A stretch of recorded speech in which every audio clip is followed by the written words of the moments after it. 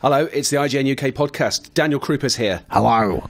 The other fella's here. Hello. Luke, Luke Karmali. I forgot. You, do you know? I actually forgot your name for a split second. The other there. fellow in That'll an be the office of dementia. five. That's fine. That's It's not fine. bad. I'm, of course, Stuart Reed. It's heavenly to be back. Uh, this is podcast number 225. 225 of these melon farmers. Uh, and I think out of 225, I think we've done, what, seven, eight good ones? It's not a bad average, lads. Come on. No, it's true. Yeah. Be fair. We're not allowed Um, to do them together anymore. no, they have to break us into little teams so we don't run riot. I'm a bit concerned that Luke and I are back together for the first time since the chaos Of that 221, I believe it Yeah, I think it was the legend, legendary two two one Luke, as it's known. Podcast I that have will live in infamy. I know. I have it tattooed Infamy. on my In infamy. on my penis. Do you really? Yeah. Oh, Good. Luke, it didn't take you long to bring that Uh, up. Well- we are going to talk about scary games and scary films, and we are going to read out reader feedback. Is this the Um, musical episode? yes, I it's really, the musical dear one. God, I hope not. This was what the other more one with was like. feet. Yeah, Right, it's just was a bit- right, no, let's get back on, frozen tr- all over But again. before, Back on track. let's get on with the news. News, news, news, And news, Daniel news. Krupa's got news about a video game person. yes, this is about um, yeah, video game person. This is about Justin Richmond, who was the director working on the PS4 iteration of Uncharted, Hmm. and he has now left Naughty Dog this week. Why? He says, I have in fact made the decision to leave Naughty Dog. I love the company and the people and know that they will continue to create awesome games going forward. On a happier note, after careful consideration and exploration, I've enjoyed Riot Games. There is some He's really- enjoyed what? I- He's joined Riot Games, sorry. Who the guys who There made is some uh, re- League of Legends. Yes, there is some really innovative stuff going on here, and I can't wait to be a part of it. What's the problem here, though? Because Well, you know he was making Uncharted Four. Yeah, and this that's, comes that's very- a pretty big game. And this comes very shortly after um, creative director at Naughty Dog, Amy Hennig, um, departed as well. Um, Sony, She was the writer, right? Yeah, Sony. W- yeah. well, it's it's interesting because both both these people were name checked by Sony when the project was announced. Like Amy's working on it, Justin's working on it, and now they've both departed before we even really have a proper reveal for the game. And that was announced what VGX Awards, which was November. yeah, so mm, Hmm. people Mm. don't tend to walk away from things they're really happy or enjoying or proud of. And it comes off the back of the fact. Just putting that out there. but it comes off the back of all these other layoffs, right? There's um, the Workplace bullying. workplace bullying, Right. Uh, of stuff in you know um, Sony Evolution, elsewhere. Yeah, but uh, Drive Club but of all the Sony developers not to suffer from layoffs, I don't. These are not layoffs. These are These are walk-offs. different- These These are- are walk-offs, yeah. Dan. Uh, yeah, Nobody's laying down. This it's is like the problem. Huey on uh, Never Mind the Buzzcocks. Yeah, they, he's, So they're, they're, like, she they're smashed smashing the them cup. up. Yeah. Are they are they dropping the mic? Uh, let me just check the Or do you have for to details. complete something before you can drop the mic? New. I don't think so. No, you can think, drop. You I can think you can be attacked by having attacked the So vapors and just not attack the vapors. Shut my goodness. stop it. Back on back on track. Yeah. needs to keep this to fifty minutes, not Good. four hours like No, last time. Jesus Christ. Is it really? Anyway, well, was really focus, Yeah. focus. Come on, get on with it. Um, That's it, really. Move Oh. on. Oh No, really? but I, I don't want to like let's not like overreact about it, but it is definitely a note of Oh, do All we know who the project is now in hands of, in the hands of? nah. Well, there's talk about um, Neil Druckmann and Bruce Straley like But they're, they're around named- it, but I'd assume everywhere. they're working on a follow up to anyway, um, whatever. But hey, it's just a little reason to be a little bit concerned about Uncharted. Well, uh, uh, Justin Richmond. Well, did, did he work on the other Uncharted? Yeah, in different capacities. So he oversaw um, multiplayer Yeah. on Among Thieves, which is Uncharted 2, and he was the director of Uncharted 3, Drake's Deception. Okay, so I mean, you know, fair enough. It's He's possible. been a Naughty Dog for a long time. Yeah, maybe he's just bored and he wants a new challenge. Should have thought that about before he started I was going to say starting it and then walking away doesn't send the But best I wonder, message. you know, if you're the director of a game, I know you've probably got the kind of overview of of how you want it to, to go. But um, surely a lot of that is is, is also a lot a lot of other people are involved in that. Well, The- the usually you, you usually have like partnerships. you usually have a creative director and a technical director, Right. somebody responsible for character, story, vision, tone, all that sort of stuff. And then you have a technical guy who's actually there working with the developers, Mm. coders, realizing that ambition and helping out from a hardware and software perspective. It's Um, so it's usually a partnership, which I find interesting. Which that's what Druckmann and Straley had on Last of Us. Um, so I don't really know what's happened here. We It's- don't have any more information. It's probably worth pointing out that there were rumours when Hennig left that um, there He was there was out. tension between Yeah. Druckmann and them, but Sony came out and very very strongly said It could "This is just the only time we're addressing this because it's crap, but we're not going to have our people's names dragged through the mud. And- Nothing to do with And it. it should also be But said. they would say that, wouldn't they? It should also be said, Yeah. Richmond, you know, he is leaving to join Riot Games, Mm. who are responsible for one of the biggest games in the world. So it's not like he's going just anywhere to get No. out. He's going to a, a really interesting job. Yeah, exactly. And Riot's meant to be have quite an interesting setup internally and how they work. Like got loads of money as well. also that. Hmm. So you know, it could, it, it could just be completely innocuous. Yeah, but and- Naughty Dog aren't exactly on their uppers, are they? But you On never know uppers. because Uncharted was suddenly Uncharted was the you know the franchise that everyone looked forward to, and then suddenly what the former B team releases The Last of Us, and all eyes are on them. Hmm. So you know it could just be the you know maybe the pressure of creating a good Uncharted and living up to the Naughty Dog name. That's a lot of pressure when like you know I'm sure Riot he might be able to do something a bit new. Maybe he, you know he's done a lot of Uncharted. Maybe he's just bored of Uncharted. I just said that. Yeah. I'm just repeating what you said, Stu. And I'm going to repeat what? what I said earlier on. He, he should have made that decision before he started work on it. Yeah, good check. Anyway, Okay. Um, good news if you're a fan good of. news. And you are, Stuart. Ah, yeah. I'm very pleased about this. Frozen, which I may have mentioned. Luke's already switched off. I just, I just, I haven't seen it. I don't even care at this stage. You just sing it all the time, and I'm over it. I'm sorry, Stu. true. Why do you not care about it? Because Stuart sings it all the time. I don't sing it all the time. I, I like the Adele Dazeem bit. Luke, that was fun. Luke, let it go. Let it go. Okay. Frozen is now officially the highest grossing animated movie of all time. How amazing is that? It's bigger than even Toy Story 3, which was pretty damn large. so Disney have trumped Pixar, yes. even though they own even Pixar. though they now own them. Yeah, but do you know what I mean? For a long time within Disney animation, Pixar was revered as the golden child Ooh. and the chosen one, Sal, the, you know, the, uh, the savior, Salvation. the, the, sa- one who will savior of the Disney. And um, but now Disney have got back on track and making films every bit, if not better, than Pixar are producing. hmm So Lasseter effect, perhaps. It does sound that, that, that way, doesn't it? Maybe that's too easy a narrative to project upon Yeah. the recent fortunes of Disney Animation Studios. Maybe welcome to the IGN UK podcast, the Disney podcast. Uh, so let's have a look at this. So Also- $398.4 million at uh, the US box office and nearly double that, $674 million internationally. It's also one of the biggest uh, pre-sale, pre-sales of uh, Blu-rays and DVDs in the last decade. But do you do Isn't you say it's also the top ten grossing movies of all time? Yes, Yeah, and also it's the only um, film in that top ten which isn't isn't a sequel or, directed, by, James Cameron. There you go. Really? Yeah. What a depressing thought that is. Isn't James, it? Cam- really? Yeah. Wow. Oh, as in so. So as in out of the top ten grossing movies of that all either time, sequels or directed by James Yeah. Cameron. They're not all directed by James No, no. Cameron because I was like, that would make me want to kill although myself. probably quite a few of them are. Yeah. Uh, wow. Well, there you go. So uh, also a couple of other Is facts. that? Can I just It's- say? Is it's that had- out on? Um, I feel it might be on Apple TV or iTunes for download. Is that out this week? think it is. It's out on Blu-ray this week. It's Oh, out it on. DVD, so, So- it probably is on you iTunes. know what? day, I will it? watch it and we will Yeah. discuss it next Monday. I kind of wish we could watch it together, Do you? snuggled well, up on a sofa under a blanket. Well, let's see what we can work out. Actually. Yeah. that sounds like a Uh, it's also it stayed in the US top ten for 16 weeks, which no film has achieved since 2002, over over Crazy. a decade ago. This is it's it's truly a pop culture phenomenon. I need to see. I do need to see Yeah, it. you do need to please. see I don't. it. I You don't need to see You're it. way out of step here. I, I really wanted to go see it, and then I couldn't How find many anyone times to go she- with, and then you kept taking your stupid daughter, and I, King and I was like, "Why are you taking her rather than you know me?" Like, you could have come with well, prioritize. I'm, Because not, we I'm not sharing you because we do go to the Saturday morning kids shows. You would have got in for a pound fifty. Yeah, I'm not sharing you, so you can just get that idea out of your filthy head. Unbelievable. Anyway, back on track. So delighted to say congratulations to Frozen. I'm looking forward to, to the Broadway show when it's uh, when Yes. it's released as well. Do we know if there's going to be a West End transfer yet, or is that Bound too to soon? be. to- yeah. Bound to be. You would hope, wouldn't Yeah. you? You would. I would.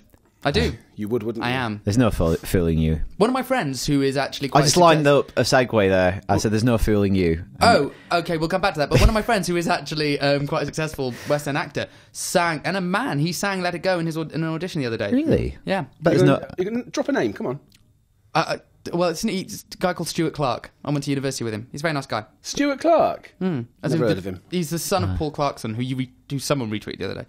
He's, he, but he's dropped the sun. He's dropped the sun from his. He name. has, yeah. D- he- ironically, despite the fact that he is the son, Son of. of. Here's some good news. Uh, that their Alien Isolation, Yeah. of which we have seen and loved, and I'm very excited about, has got a release date.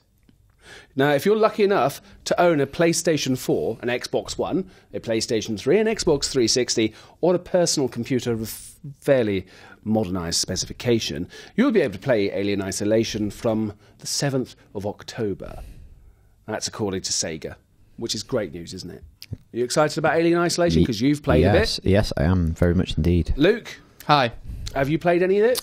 I haven't, but I don't know if I'm that excited about it because I'm not very good with scary things. Right, okay. I get a little bit, you know, I get scared of my own shadow, really. Hmm. So, Now you've you've heard about it, of course, and the, the idea is that they're, they're basically taking the essence of what made the 1975 Ridley Scott Alien movie so Yes. which I have frankly seen. terrifying and fantastic, and they've they've distilled it into this slightly larger area. So it's not just going to be on board the Nostromo; it's a, it's a much larger area that you play. Once again, though, there is only one xenomorph, as in the original movie, As So you're opposed to not as a- colonial marines. yeah, so you're Let's not, not facing, you're not going to be gunning down hordes of the buggers, and you know the chances are it's going to kill you, and you're not going to kill it. Hmm. So it's going to be exceptionally lifelike, and of course we've got all these brilliant late '70s looking gadgets as well. So there's no flat screen plasma TVs; it's all CRT and a bit a bit crummy looking, but crummy in a brilliant way, Yeah. not crummy in a we didn't bother taking any time over these graphics kind of way. So I'm very excited. I'm stoked, uh, as I believe our US colleagues would possibly say. Yes. So led me to think: Yeah. what is the scariest video game you've played thus far? Oh, gosh. Because you just said you scared of video. You scared of your own shadow. Yeah, of game. Of. Which game? Come back to me. I mean, I've got a film that doesn't. Should we start with films then? Yeah, well, I've got. A, I'm I'm more like psychological thrillers. I'm slightly better with. Right. So there's a film that I found absolutely horrifying, which no one else had, called Wolf Creek. Oh Wolf my Creek? god, it's fantastic. See, right, you like it. Yeah. I watched it, and there's um, a bit in it where um, he basically severs someone's spinal cord. Head right? on a stick. Head on a stick. Yeah. And I watched that, and it just made me feel absolutely nauseous. And I was just like, that is grim. Um, in a very, very similar way, very, very weirdly, um, in the Matrix, when they're all getting ki- in the first Matrix, when they're put, he pulls that Cypher guy pulls the wires out of the back of their head and they all just drop down. Nothing wrong with them like kind of so it's something to do with like brain aneurysms. Nothing mm. supposedly wrong with you but you are completely completely broken. That freaks me out. So Wolf Creek freaked me out anyway but then I showed it to all my friends and I think I overhyped it and they were just like this is the worst thing ever. But it is really, very much Wolf, but Wolf Creek is, I think, is a, an inherently depressing film as well because Yeah. it's, it is so horrific, and it's. I think, never mind all these kind of, you know, uh, all the all these kind of torture porn movies. I, I think when there's a film where where just one person is an inherently evil person, and that comes across. Mm. That's the stuff that can, as I get older, that depresses, that that that upsets and depresses me a lot more than than, than films used to. especially when it doesn't go too far because he is believable in you know it's it's believable that he is just psychotic rather than just kind of this complete completely nihilistic weirdo just kind of you know which I think can go too far but I think he, it's very well done in Wolf Creek He comes across as just being a bit bored and looking for kicks. That's the scary yeah thing. complete and utter sadist yeah Yeah. mm. so Wolf Creek I like as films I like his films. I like Hans films, Good. Wolf Creek. I was thinking about, uh, and this is the one I always come back to because there's just something about it that makes the hairs on the back of your neck stand up, and that's the Robert Wise version of The Haunting from 1963, which is this incredible widescreen, black and white, scary movie. And it's not scary because of anything that really happens, it's scary because of things that don't happen. And it's what's unusual about what's unusual in, insofar as you don't get it anymore is that the film breathes. It gives there, there, there are moments of, of quietness, and there are moments where the camera just lingers for maybe half a second or a second too long on a scene, and you're thinking, "Oh, did I just did something? Yeah. or was that Well, it's my a- imagination?" And A lot of that's like if you go back to the source material, the Shirley Jackson novel, The Haunting of Hill House, which is uh, it's, the- the term in literature is fantastic. Yeah. So it's a piece of literature that's perfectly poised between a totally rational explanation, i.e., there are no ghosts, everything you've imagined is totally in your head, it's in the character's minds, or the other resolution is something does objectively exist that is supernatural. And I think what the um, the haunting of Hill House and the haunting does is it's perfectly poised between those two resolutions. So you never know what you're seeing, whether it is filtered through the mind of the lead character and they are inherently unreliable. It's like the turn of the screw or the um, innocence. Yeah. So you don't know whether I don't know. The, usually in these Victorian novels, it's the female protagonist and she's suffering from some kind of hysteria because of course she is. She's Yeah, a course she is. woman. Yeah. Also, hysteria derived um, from the word um, meaning womb. yeah Hist, Hi- whatever. Yeah. Hysterectomy, hence all that. Well done, Luke. Thanks. That's Luke's some knowledge of the female form there. Yeah. Um, Well done. but I think that's why it's really scary because it's the, it's the ambiguity. That's why I take and, anti and also both resolutions are scary in their own rights. One is ghosts actually do exist, which blimey Charlie, it's pretty scary. Or you're suffering from mental illness, which actually is Is probably scarier. Is that what an antihistamine is? It keeps women away. It's like a women repellent. I thought so. Works quite well, doesn't it? Yeah. I've Remarkably. Been on, been on them all my life. what about you, film wise? Good. Wise film, Um, man. Probably, I think Halloween still. Really? I think the original John Carpenter ha- version like- of yeah, I know you Halloween. mentioned I think there's something profoundly scary about someone just standing there watching you. Mm. even in the middle of the day when he's stalking Laurie um, through the early part of the film, and she's in she's in English class and she's being taught Hamlet, and she looks out the window and he's just stood there from across the street, Mm. or when she's walking down the street and he just pops out from the side of the hedge Yeah. and just watches her with a kind of inhuman patience that he'll stand there all day long. He wants to kill her, but he'll he'll wait. And that's terrifying. That's absolutely terrifying. And it reminds me of the anecdote that inspired um, Wes Craven to make um, Nightmare on Elm Street. Do you know this story? No. So one night when Wes Craven was like, I don't know, 10, 12 or something, he looked out of his bedroom window and he saw this like old drunk like underneath the street lamp and he's wearing a red and green sweater like Freddy Krueger. And he just stood there and, you know, obviously he ducked away from the curtains, hid. And then he looked back through, through a crack in the curtains and the guy was still stood there looking up at him and started to laugh. And this is an old, like, middle aged drunkard man. And he's doing it to torment a little child. And Wes Craven's like, that thought just like terrified me. This quite, quite evil sensibility. And that's why I think Freddy Krueger has that kind of little bit of kind of maniacal glee to him. Like, he quite likes being funny with being evil. Um, so I think something about that being watched, but the person, when you see them watching you, they don't flinch. They Yeah. don't care. They're happy for you to know that you're they're watching you. Um, I think that's why Halloween, in particular, still kind of stays with me, and that's why, in terms of going back onto games, maybe, uh, even though it's not a great game, it's a great experience. When we played Slender for the first time in the office a couple of years ago, same sort of thing. You turn around and there's someone in the distance, just there. Yeah. They're not going to jump out at you. They're not going to say boo. They're not going to like have a face that bleeds Mm. or their eyes pop out of their heads or tentacles or something incredibly outlandish and elaborate. They're just going to wait and they'll get closer. Yeah. That freaks me out. There's something to be said about the banality of evil as well, I think. Well, There's- Fred and Rosemary West. Like, Yeah, I know it sounds ridiculous to bring up Fred and Rosemary West, but it's true. When you read about Fred and Rosemary West, like ostensibly so incredibly quaint, but terrifying. Yeah. There's a there's a obviously there's a there's a there's a film loosely based on on Fred and Rose West, which is Mum and Dad, which is a, a really well put together British horror movie about what happens to to this girl who is taken back to the to this uh, what just looks like a normal um, semi-detached house near near Heathrow. But then there's another film as well which I saw recently called Tony. Okay. And it's just about this guy. It's a We're still in the low- title, isn't it? yeah, it's called Tony, title.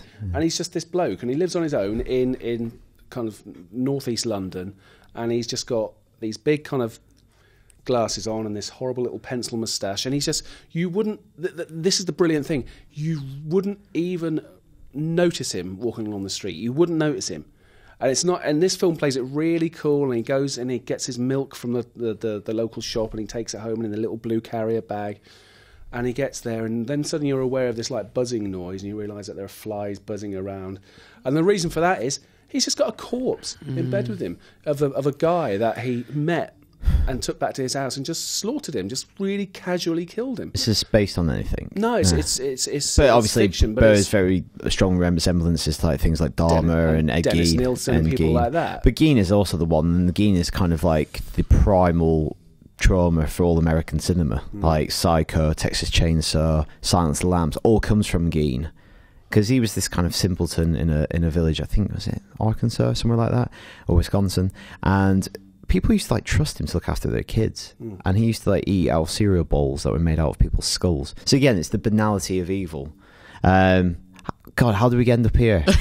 We've got Taking to it that. all in. Fred and Rosemary Like, West Ed Gein. Yeah, horror. This is kind tangent. Of, well, this thing horror's my, like not for me. I mean, I read Edgar Allan Poe, so like the whole Imp of the Perverse, the whole Telltale Heart thing. Like you know, when you were mentioning that that But that's watching. quite high, kind of baroque gothic. Yeah, like I'm fine with that. of- That's absolutely fine. I can handle that kind of stuff. Uh, But I in guess it's Black. more kind of realistic horror that you have, have an issue with, is it? Well, I don't know. I mean, there's elements of like um, the whatchamacallit of Poe that got me. Like, you know, the kind of whole the imp of the perverse, you know, doing the wrong thing, no for no rhyme nor reason. It's just because it's the wrong thing, and there's just that that innate curiosity in you where you're like, oh well, you know what? Maybe I'd just like to see what happens.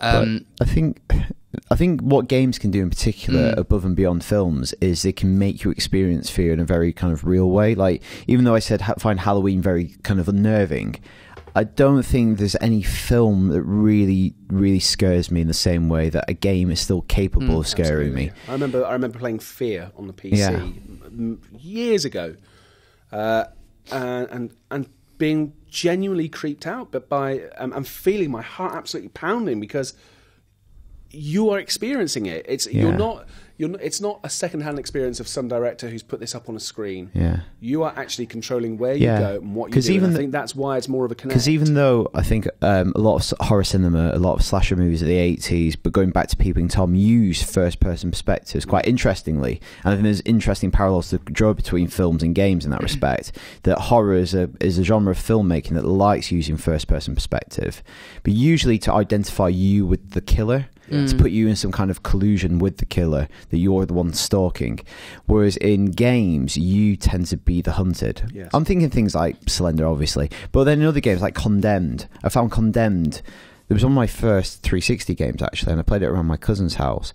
And he didn't prepare me for what it was. We- I was staying over for the night and turned all the lights out, and he passed me the controller. And I was in this kind of derelict um, tenement block in New York, and you're just walking around, and like there's drug addicts off their face chasing you around in the dark. And you don't have any weapons. You have to like beat them to death with your hands. And there's another bit where you put me on. You skip me forward, and you're in a vacated uh, department store, and there's loads of mannequins around the place. Oh, and God. midway through the level, in the corner of your eye, you see one of these mannequins begins to move. uh, It starts chasing you. that's terrifying. That's terrifying. And I, while I can imagine that being a film, I don't think I'd have the same response No. because it's not coming for you. There's still a degree of detachment. I mean, Um, the, the only game that I kind of had, which isn't even a horror game, was when I was quite young playing uh, Morrowind, which is the third Yeah. Elder Scrolls game, and I, I was um, in a cave, so it was dark anyway, and you're, I was trying to get to, you know, trying to get to the end, seeing what was there. But it's one of those things of like, as you say, it's a completely different thing. I was, I knew that I didn't have enough health to be in there. I was, you know, pitching above my weight. If anything saw me, I couldn't really win in a fight. So, you know, I'm desperately trying to get through that you know, get to where I need to go, get the stuff I need, and get out. Um, and yeah, I just remember turning a corner and thinking, "Oh God, I've made it," and quickly running over to like grab the item I need, spinning around again, and this massive, massive, this creature called an ogrim, which is like a big kind of bulky thing, was just there, and I screamed like a child. I mean, I was a child; I was like ten, but like that's not a reaction I've ever had from from film. Like I kind of get I've seen the Woman in Black stage play, which I found quite freaky. Yeah. Um, I haven't But that's because once again, it's the it's the unknown for me rather and, than and anything. also something like the woman in black you're it's there it's there in front of you There is Mm. no kind of artificial screen because Mm. i think the woman in black it's is it performed in the round uh, no, I mean you're you end on, but the thing is she. she She, she comes into the audience, Yeah, which first of all yeah. breaks that kind Bit of, of traditional, yeah, that breaks that traditional audience stage relationships. There's no safety, and also um, that you make good use of gauzes, so where you think there's about you know fake backs everywhere, so you think oh I'm fine, and then suddenly you're like boom she's there. Mm. Um, so yeah, it's um it's pretty pretty scary. i think this is a good one to throw open to the uh, listeners Mm. actually uh, to find out what uh, people think is the scariest game or scariest movie that Yeah. they've experienced And there's, I mean, it's worth saying there's loads of games we haven't na- name checked that, you know, Resident Evil, um, Yeah. Silent Hill, Eternal Darkness, Dead and even Space, ones like as I say all that sort of that's not particularly scary, Yeah. but you may have just it may have freaked you out. And I do think a trend this year is kind of a resurgence in horror games. Like I think for the last few years, obviously shooters has been a genre that have kind of thrived and bloomed, and now maybe slightly wilting. What I I, think is horror is something that big, you know, it's thriving on the indie scene. I was gonna and I think if Alien does well, I, Alien Isolation, then you might see that becoming more and more viable at AAA kind of level. I think because so many are kind of going on to PS Plus as well, right? Especially PS4 launch like Outlast, Outlast- and all Outlast that. is terrifying. You know, so I think that's opened the door for a lot more people. yeah. With PS Plus. So how can people get in touch, Stu? Oh, they can send it in via Carrier Pigeon. Good. Good. Or, or, or they could write to us on that the- catchy email address. Yes, IGN underscore UK feedback at IGN.com. Why Are we doing something about that? Ah, just eventually. We embed, Eventually. we embed it at the bottom of the story, and it's kind of like, uh, Uh, people have been getting in touch with us. they have, yeah. Right, so shall I kick off? Martin You Cro- normally do. Hey, Martin Cross says, Hi there. I've been reading IGN for years. It was my first go to for game industry news. But I've often wondered what web- websites did you start reading first? Are there any competitor sites you still love now? Thank you. Anyone want to go first, or shall I kick no, off? I don't. I don't really use the internet. Good, good. Um, I quite like reading Eurogamer. I think Eurogamer have um, very insightful articles. They're a little bit too long for me, um, just in the sense that I don't have that attention span. TLDR. TLDR. So That's just just even a news story. Yeah, exactly. Nah. I was like, no, not for me. So no, I, I, I use, I read them because they're very insightful features. So it's quite useful to get ideas for your own starting point. Um, other than that, I don't know. I kind of, I came to IGN when I was quite young. Um, And we, and, the- and we raised you. and you raised me on the board. I was raised, suckled you. I was raised in the harsh territory of the boards. So, um, yeah. I've seen things, and then um, I basically the other the only other ones that I still read today quite regularly. Um, you may know I'm quite an MMO fan, so MMO Champion. I used to read WoW Insider, which is um, and Massively, which are both part of the Joystiq Network, um, and I also worked for Massively for a little bit. So I, I read them because they give me more MMO news. They let me suckle on that delicious teat until I'm full to bursting. until you're absolutely corpulent. I really need to Absolutely get corporal. rid of some of these images. That are in Um, mind. interesting. Um, I always used to buy when I was a kid. I used to buy two magazines. I used to buy Edge magazine. I used to buy Empire magazine. Oh, I I buy used to Edge and in Games school. TM. Yeah, I used to. re- Yeah, so Edge magazine. I still think, regardless of any kind of genre magazine, it is the nicest looking magazine that you can buy. Yes. It is stunning. Every issue of it is beautiful. Layout on it, everything. It's an amazing magazine. The writing is is equally great. Mm. Um, and the iPad edition, if you haven't checked that out, is just unbelievable. Yeah. That's what a digital magazine should be like. The the front cover is animated, the way that you can scroll through the images, everything is beautiful. Uh, I think they've done the best kind of leap to iPad. Really embraced it and think let's not just put scans of the magazine on an iPad. Mm. Make it truly interactive, so it's a pleasure to read on an iPad. Mm. Anyway, Uh, yeah, Yeah. I, I, I agree. I, I mean, I buy Edge for the editorials as much as anything. Like the features that they do are really, really insightful, really kind of clever. they also get great access, so Yeah. they have some great stuff in there. Uh, yeah, so they're definitely worth. Uh, how, and you? No, I don't. I don't. You get you buy you you, you still buy buy your music. ma- you still buy your music. I buy mags, don't you? magazines. I, yeah, I buy Mo- Mojo, Uncut. I used to buy a terrific magazine called The Word, which was a really good uh, film and music magazine, which unfortunately um, folded, uh, and it was it was really. That's good. what you was- want from a magazine. Normally you do. It was almost like a, a kind of British indie Vanity Fair is the only way I could describe it. And it was a really, really well written, well put together magazine. And I still miss it. It, fol- it folded about 18 months ago, and I wish it was still going because I really, Oh, really that's so a shame. That's Yeah. a shame. Um, and that's kind of it. I used to I used to get all the music weekly music papers Yeah. when I was younger. Like, en- so that would have been NME, Sounds, Record Mirror. Kerrang! that's the only one I never used When to you bother went through with. your email phase. Yeah, happy days. Stuart read the voice of IGN News on Kerrang. Yes, Hello. Hello. when I remember. oh, it's like I've either left the iron on or I've forgotten to do Kerrang. Some days both. yeah. Yeah. Uh, what a team we make. Let's talk about traditional media, such as that television. Hello, IGN UK team, says Cameron Amo. Um, Cameron Amoyles. Uh, Jazz Cam Oils is his email name. Jazz Cam Oils. Hmm. Although it's not directly related to the subjects IGN cover, I just wanted to ask for your opinions on the proposed closure of BBC Three that was announced by the BBC a couple of weeks ago. Personally, I despise the fact that I would be considered part of the age group that the channel is aimed at. I've never had any interest in the channel's programming beyond the occasional Doctor Who or Sherlock rerun. However, I still think that the channel should remain. I hmm. disagree with the idea of BBC Three being replaced with an online-only iPlayer-based service, as I believe that the BBC's role as a universal, all-accessible broadcasting agency means that they have an obligation to continue to support traditional traditional forms of media, even if the online space is rapidly uh, growing. Um, Interesting. Bit of I- Voltaire there. I, I will not watch your channel, but I will defend your right to broadcast. yeah, For them, good for them. I, Um, I think it's absolutely outrageous that BBC is uh, scrapping so it. what's the? Sorry, I, I've missed out here. Are they still going The to? B- BBC Three has been taken off television and is going to be an online-only Yeah. channel accessible through iPlayer. Arguably, is that is surely they've looked at the data. That's maybe how most of those shows are consumed. I guess. Well, that's a very if I interesting if. I ever watch BBC Three, and sometimes I do, like I'll come home, I'll stick on. I, I don't watch TV anymore. I watch all my all BBC stuff through iPlayer. I- Yes, and you I do. sometimes, if I want to watch some absolute crap, I'll put on a BBC Three documentary. If I want something on in the background while I'm doing something else, I'll watch one of the absolute ridiculous documentaries they make. I watch Family Guy on BBC Three when I'm in bed, and I watch um, uh, Sun, Sex and Suspicious Parents, which is no longer appointment to view television. I hasten to add, it's gone downhill. Um, and other than that, did Gavin and Stacey start on BBC Three? it Three? did. BBC I- Three has been a springboard for, for a lot of comedians, comedy. Yes. right? and so, Li- and Little Britain. yeah. Yeah, lest we forget. So I But quite here's like the thing: that. things like Family Guy, uh, the chances are that will not be available. It went. It's not on yeah, iPlayer. only. It's- they never Exactly. put it on iPlayer. They don't have the licensing, do they? That- so that's the problem. But you know, if we're, we're talking about BBC Three, it, it, it would be, to my mind, it would be like the BBC getting rid of Radio One. yeah. Just, just getting to a point where we're saying, right, if you're under 25, we are simply not interested. We don't care about you.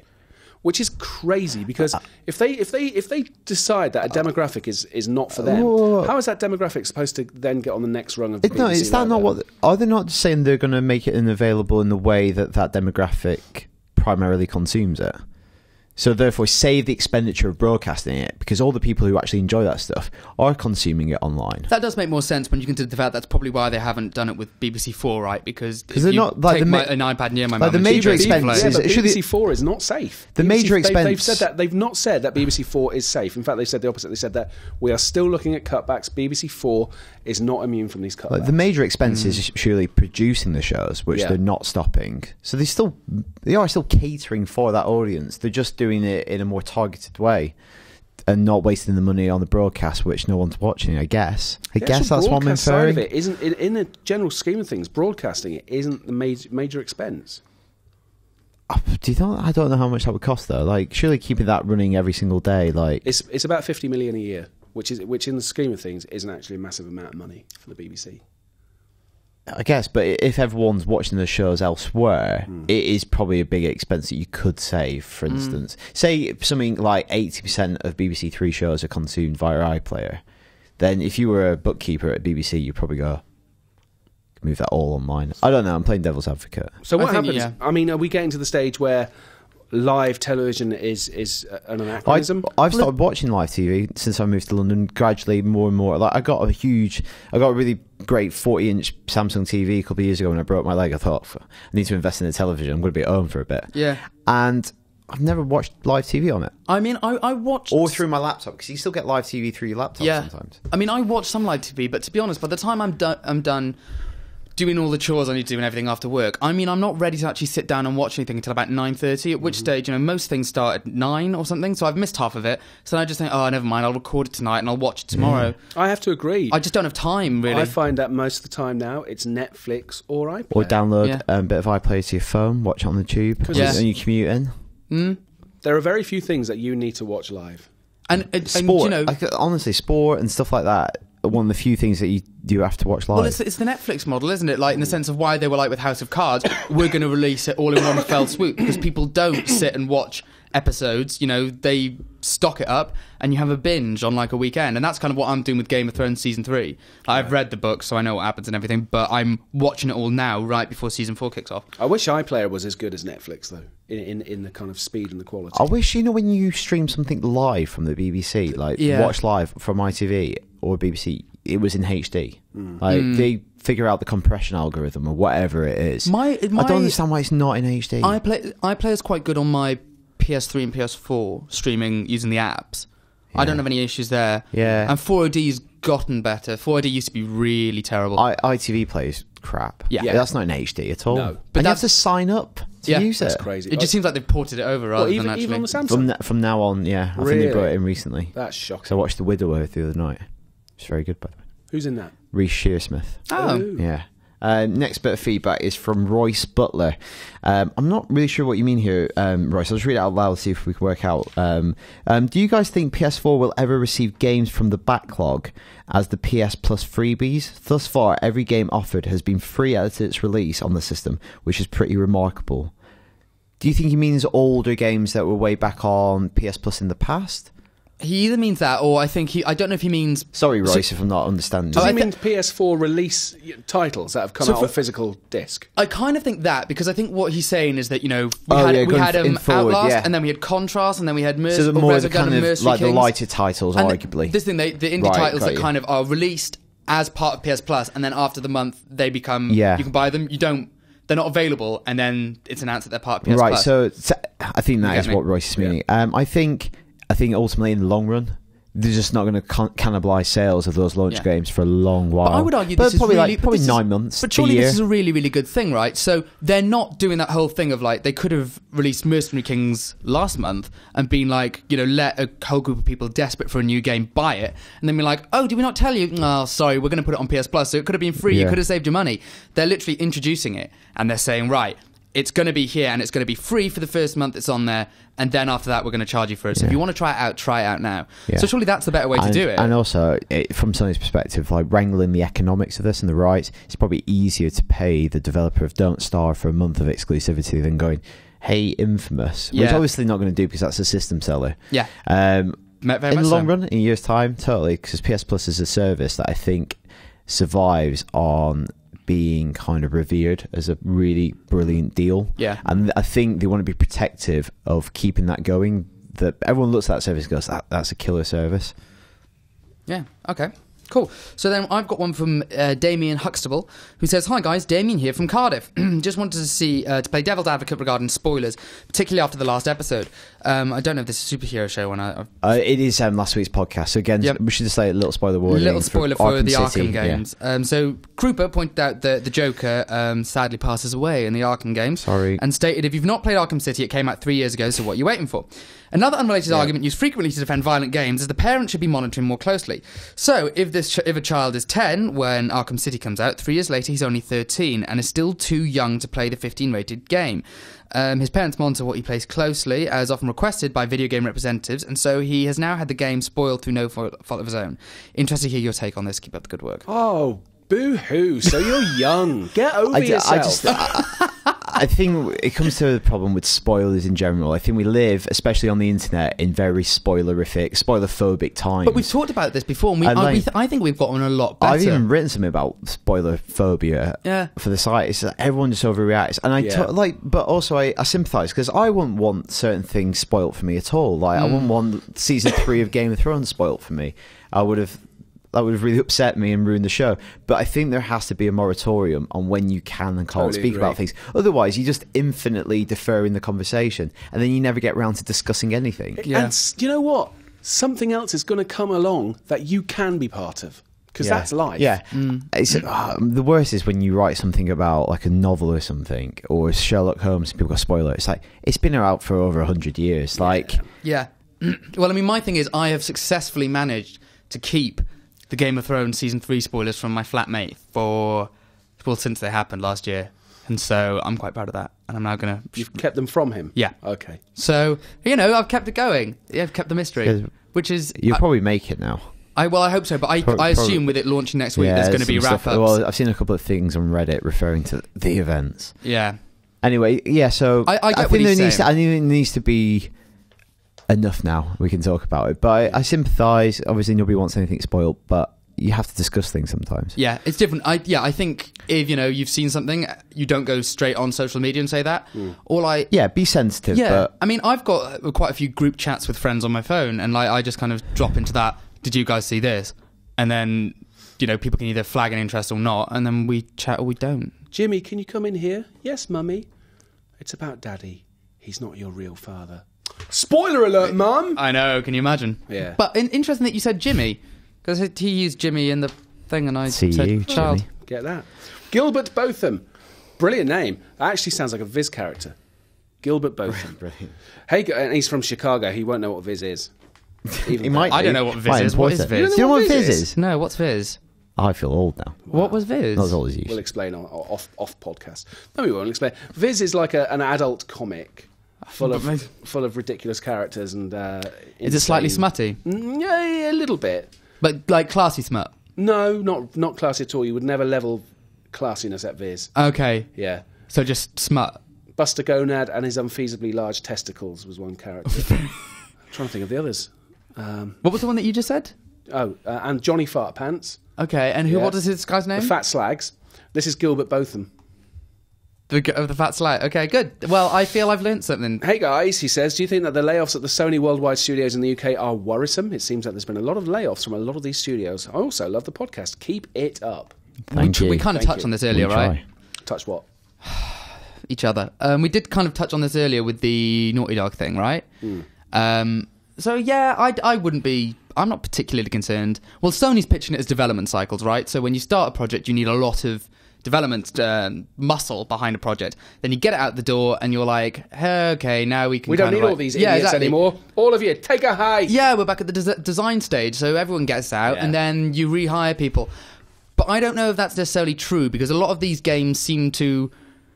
There's layoffs at Evolution, and Drive Club is very much in full on development at the moment. Uh, it was Guerrilla Cambridge who were meant to be working on a game, I think for PS4. They were the guys who did Killzone Mercenary for, Mercenary for um, Vita. And they have been meant to be working on a title for a while. And then SCE London, which was the one who did Playroom, or is it Playroom? Yeah, that's the free to play camera stuff on PS4. They also had um, layoffs, and again, that seems that was about six months ago. So would they only be doing layoffs now? I mean, it's right before the end of the financial year, so it might just be them trimming the fat, as it were. No disrespect, but you know they have Sony. Sony uh, as a company, not the games division, but as a company, Sony is you know still not Yeah. exactly. In the best of shape. No, it's, No. there's still stuff that needs to be done. This reorganising over time, I think. Yeah, I'm not. I wouldn't. Don't ring any alarm bells it. yet. Yeah. No, don't bother ringing any. I mean, this is the other thing as well. Sony is in a very fortunate position that it has so many first party studios, right? So if it decides to do layoffs at several of them to, ma- you know, to keep an eye on the bottom Gail, line. I hope that's answered your question. I'm going to stop Luke talking because he's just banging on. Uh, IGN Good. underscore UK feedback at IGN.com is the address to get in touch with us at, to, with, and on. Yes. Out this week, Luke Karmali, games are coming out. Uh, yeah, they are. So we have two games this week: uh, Dynasty Warriors Eight: Extreme Legends, which is a thing, um, and then also The Elder Scrolls Online, which I'm already playing and enjoying a lot. And if you want to play with me, I am on the EU Mega server. So Is there a name? Do we have Well, yeah, I mean, you, I'm Neelan, so it's N W E L A H N. If you want to play with me, just hook me up or hit me up. hook, hook up your hit ups. Hook up Hit- my hit hit up ups. your So yeah. I'm. Uh, but yeah, it's very good. Um, and our review should be our review should be live before too long. Our review in progress is already up, I believe. It is indeed. Yes. So yes, don't it- believe. Yeah, it's good. Isn't Goat Simulator out this week as well? It is. It's not on that list, but Goat Simulator is out, and we gave it an eight out of ten because it's apparently very satirical and Hilarious. funny. Embraces bugs. Yeah. Game breaking bugs and the kind of ridiculousness of physics engines gone awry. Yeah. It's I'm like, pleased about this, mm. but I hope it's not going to start a spate of these kind of non-game games. Do you know what I mean? The, the gag's been done now. Yeah. Leave it alone. Yeah, let's not do it again. Okay. It won't be as funny. No. Okay. All right? Okay, Stuart. Thank God that didn't happen with Flappy Bird, right, or anything like that. Or something like that. Yeah. There are films coming out this week as well at, in the cinemas. There is. Uh, did, we, them- did we say Dynasty Warriors as well? Yeah, we did. Yeah. But we didn't really talk about it. Dynasty Warriors 8 Extreme Legends. I feel that's a special Catchy. version of it. I think Dynasty yeah, Warriors 8 came out. already It out. came out last year. Yeah. Um, on Xbox and PS3. I feel now I it's have on it. PS4. Yeah. I feel I have it, but I don't actually remember much about it. good. Luke No- reviewed it. Amazing scenes. I didn't. the first film, Uh, is uh, Noah. getting biblical. Isn't it, eh? Well, not really. Let's Uh, it's just kind of biblical. It takes it takes biblical. a Bible story as its kind of jumping off point. And no, then- but like I said to you, a it man and a embraces, boat and Emma no, Watson. no, no, no. Like I said, it embraces a lot of other um, scripture and non-canonical biblical texts. this ain't no King James, is it? no, it isn't. No. But then the original Bible was not King James. That's quite true. um, so it does. It is based on various kind of Jewish texts and stuff for some of the weirder stuff in the film. Hmm. But what I would say, if you've seen the trailer the poster for Noah, the final film is nothing like that poster trailer makes out. No, it's a lot longer. It's taken all of the kind of weirder stuff that's in that film out of it. It's made it look like, Like a fairly Passion of the Christ. straightforward Made it- drama. made it look like Passion of the Christ Yeah. because you know what? That will bring in a lot of. It'll bring in the religious religious pound. What did Religious greenbacks. Greenbacks. You know, there's the grey pound. Yeah. What was it like? The religious pound or something? the papal pound. The papal pound. There Very go. good. There you go. Um, the, Protestant pound. No. no. The Um, Catholic quid. I said the Catholic coin. but there's loads of weird Catholic stuff coin, in that's there. good. There's Yeah. loads of weird, Yeah. interesting stuff in there. The Church of England, Bank of England. Back on track. Holy hundreds. The Double is out. Richard Ayoade's uh, film based on a Dostoevsky novel. Yes. It's very. Fyodor Mikhailovich Dostoevsky. Um, It's Eucharistic off- off- Euros. Sorry, I'm done. yeah, this is going to work well as a cutout. yeah. It's very good. The Double is very good. It's got that fella in it who's the miserable. Jesse fella. Eisenberg. That's the one. Yeah, he's in it, but he's very good in this. He plays himself. And he That's also- unusual for him. And he also plays not himself. Oh, you see, it's all about a man whose life is turned upside down when an identical man to him comes into his life. Not his twin. No, Oh, I thought I just figured out a spoiler. no, oh well. There we absolutely go. not. Uh, and it's really good. If you like, if you like good Terry Gilliam movies, you'll like this. Okay. And If, if you like bad Terry Gilliam movies, you'll probably like this. Cool. So Yeah. everyone covered then. Everybody. And Rio 2 is out, the eagerly awaited sequel. Has it got Johnny Depp in it? Or am I making that up? I think I think you're making that up. you're thinking of Rango, aren't you? Yeah, I am thinking yeah. of Rango. Yeah. No, this has got one of them from uh, Flight of the Conchords that doesn't write the songs for the Muppet movie. Oh, so the good one. Yeah. Is it Jermaine? Um, yeah. So Yeah. this Don't- has don't bother seeing This that. also has Jesse, Jesse Eisenberg in. Does Does it? yes, it does. Wow. Jamie Foxx, Andy Garcia, Oh, I know Andy does. Kristin Andy Chenoweth. Garcia. That name rings a bell. Um, Kristin who? Kristin Chenoweth. She was, uh, the in- original Glinda in Wicked. we- and in in West Wing. Amazing. yeah. Oh, But R- Rio two. If you're Bring going to go them see that, you probably knowledges. don't need any convincing. no, probably No. not. Go and Cool. see the double, though. I'd like to know what everybody thinks of it. Okay. You might think it's really boring. And what can? How do they let us know? But email us. At Oh, don't do that. IGN underscore UK feedback at IGN.com. Yeah. Right. Good. And on that note, uh, uh, we are going to disappear up our own orifices uh, because we've got work to do to bring you more exciting stuff on the website. Uh, Yeah. So until next week, thank you so much for listening. And if you've been watching, thank you so much for watching as well. We will see you. Some of us will see you, some of us might not see you. It might be all of us, it might be none of us next week. Goodbye. Bye. Bye.